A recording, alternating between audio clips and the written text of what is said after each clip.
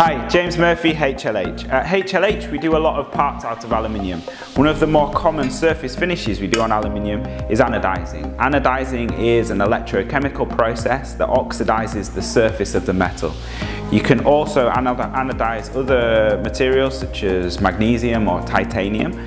Uh, the reasons that people go with anodizing are threefold. One, it offers a greater level of uh, corrosion resistance. Two, it improves the actual surface finish of the part. And three, it enables you to, to dye the part and produce parts of um, essentially any color of your choosing.